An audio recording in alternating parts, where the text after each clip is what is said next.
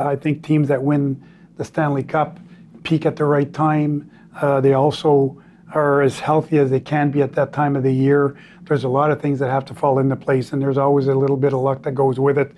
So, as I mentioned earlier, there's been eight teams that have won. Just goes to show you that it doesn't matter uh, where you finish. It's it's how well you play at that time of the year, and you know, uh, you play your best hockey at the right time. You got a chance to win yourself a Stanley Cup.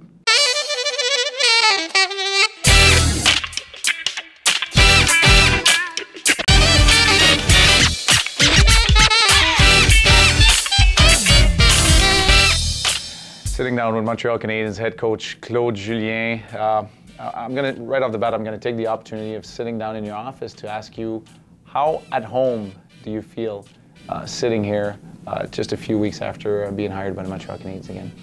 Well, I think I'm pretty comfortable right now, and uh, it's helped that I've been here before. It's my second time around, but also, you know, it's been uh, uh, quite a few weeks now, so I'm, I'm feeling very comfortable. This, this has become a routine for me now to come in here and you know, uh, obviously this is a new uh, facility that wasn't here, but uh, you know, the Bell Center is still the same, and so feel at home. I'm feeling really at home right now. You mentioned this is your second stint behind Montreal's bench. Being away for a little bit more than 10 years, what have you missed the most about this market, this organization?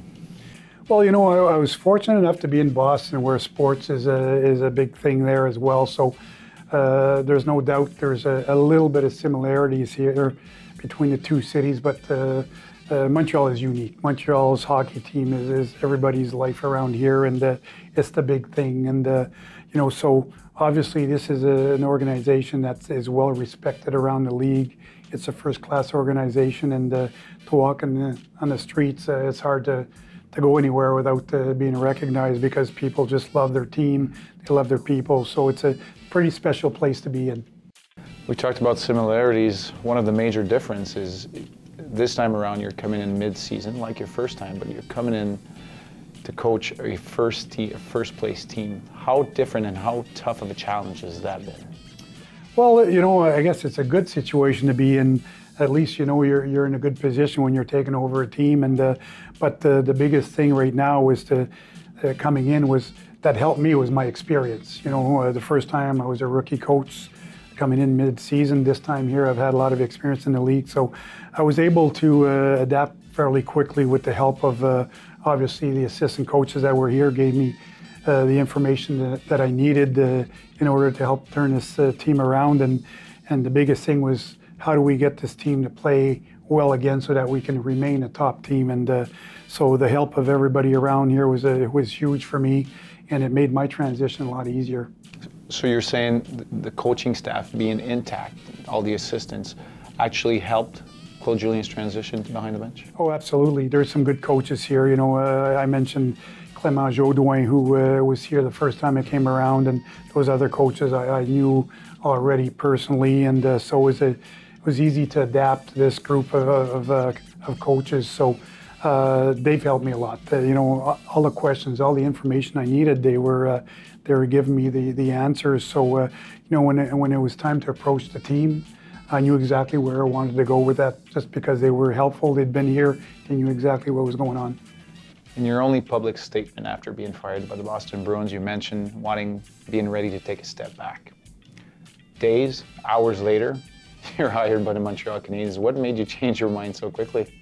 Well, I really intended to take a step back, you know, with the 10 years in the same place, the Olympics, the Worlds, and all that stuff. I'd done a lot of hockey, and uh, but I had said that the only way I would uh, consider going somewhere else would have to be the perfect uh, situation. And I think here uh, with Montreal was that perfect situation. I mean, I mentioned it before, first class organization. I'd worked with Marc Bergevin at the World Cup this year, and uh, you know, we seem to have pretty good uh, chemistry, you know, in, in, chatting and getting along. And uh, at the same time, you know, uh, being from the Ottawa region, I was getting closer to home. But uh, there was a lot of things that uh, fell into place. I, I, I, felt comfortable here. I'd been here before. I knew what to expect. So this was the unique situation that I said I would accept. So I was glad that this came around, and, and I'm glad to be here the personal transition we've talked about, if we focus on what's been happening on the ice, um, with all of your experience coming in and having to react quickly,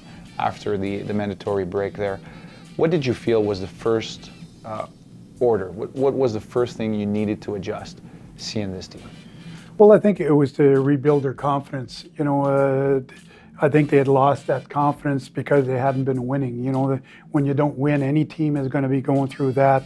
And uh, again, in talking to my coaches and then seeing what was going on, I think the best thing I could do, first and foremost, besides you know making small adjustments here and there that we did make, was to make those guys believe in themselves again, uh, make them enjoy the game, make them enjoy coming to the rink and having some fun. And you know that was the main thing because your attitude dictates a lot of things in this game, and uh, having the right attitude, the right approach was uh, the most important thing I thought. And then afterwards, we, we kept working with parts of our game that came around. So I think that was the first thing that I had to do when I met the players is uh, make them feel good about themselves and make them believe again.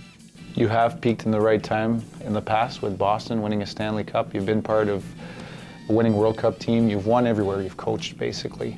I don't want to put you on the spot, but from what you've seen and what you have here in front of you, how close or how much of a winning spirit or winning elements are assembled here in Montreal?